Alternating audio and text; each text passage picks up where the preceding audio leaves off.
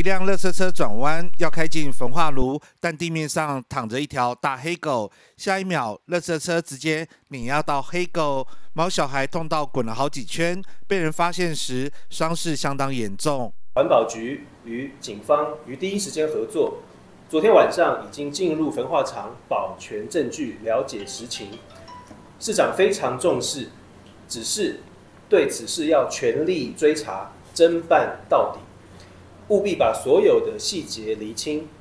环保局对于同仁执勤中所造成本次事件感到非常遗憾。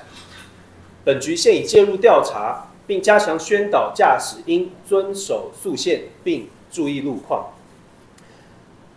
这是属于动保类的严重刑事案件。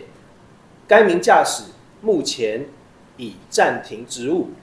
除了刑事上的责任，请动保所与警方能够尽快厘清之外，环保局也会静待相关司法调查结果出炉后，进行行政上的必要惩处，最重将该员予以开除的处分。画面被民众抛上网，市政府环保局、警察局和动保所共同召开记者会，说明调查结果。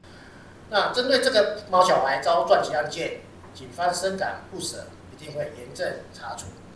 那行为人在今天早上已经到案，对于不慎撞击毛小孩的案件深感懊悔。警方目前正依动保法侦办中。动物保护法它其实会有区分成那个呃故意的部分，然后还有过失了。哦，那故意的部分涉及刑事责任。那我们这个案件会呃依依动保法第二十五条，然后移请基隆地方检察署去做判定。哦，那去确认说他是不是有刑事责任的归属。哦，所以这个案件做完之后，会把相关的笔录跟捐赠资料都移给地检署办理。